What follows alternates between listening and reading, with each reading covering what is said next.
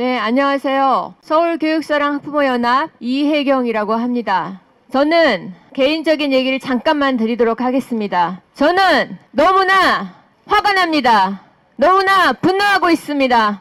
왜냐하면 서울시, 서울시로부터 너무나 속았다는 생각을 할 수밖에 없습니다. 동성애 퀴어 축제가 있었다는 사실을 전혀 알지 못한 학부모 중에 한 명이었습니다. 그런데 우리 키우는 자녀로 인해서 이 읍내는 퀴어 축제로 인해서 우리 아이가 거기 축제에 참여했고 엄청나게 위험한 상황에 놓여 있- 있었다는 사실을 알게 되었습니다. 그래서 저는 그때부터 너무나 울면서 우리 아이를 위해서 기도할 수밖에 없었고 많은 학부모들이 이러한 것을 가슴 아파하며 이번 퀴어 축제 현장에 반대 목소리를 함께 내고 있습니다.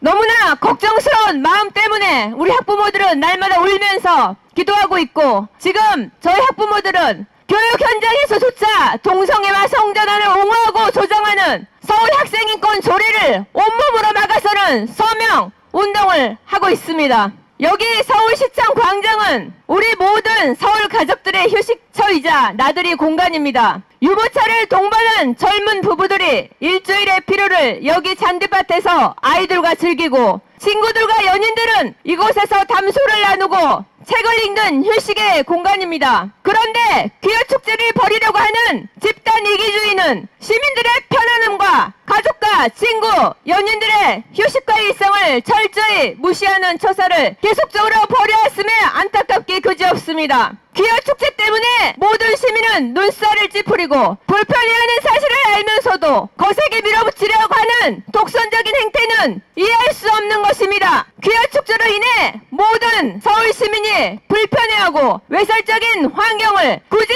수인하며 참아내야 하는 이유가 무엇입니까?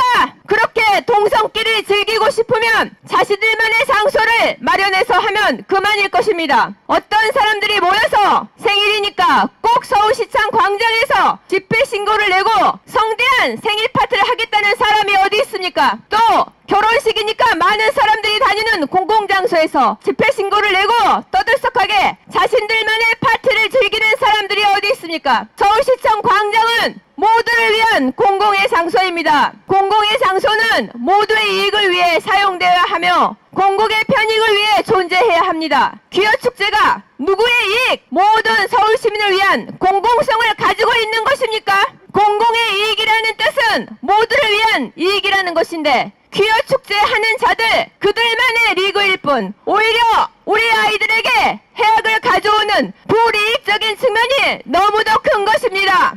귀여들의 축제에 대해 서울시에서 허가를 내린다면 범죄자들이 다 같이 모여 축제하는 곳에 허가를 내린다는 그 격과 비슷하게 느껴집니다. 그만큼 학부모들의 걱정은 너무도 큽니다. 귀여 축제 주최자들은 인류의 보편적이며 건강한 삶의 방식을 저버리는 선택을 하겠다는 자들입니다. 느끼는 대로, 끌리는 대로, 하고 싶은 대로, 하고 싶은 자들의 동성간 성적인 성턱, 선택 행위인 것이며 그들의 선택 행위에 대한 책임은 지지 않고 불편해하고 힘들어하는 모든 국민에게 억지로 수인하게 하는 것은 독선적이며 독재적인 행위로 보입니다. 대한 책임은 없이 자신들의 성적인 행위에 대한 권리만을 주장하며 통과시키려는 민주당의 차별금지법 역시 강력하게 규탄합니다.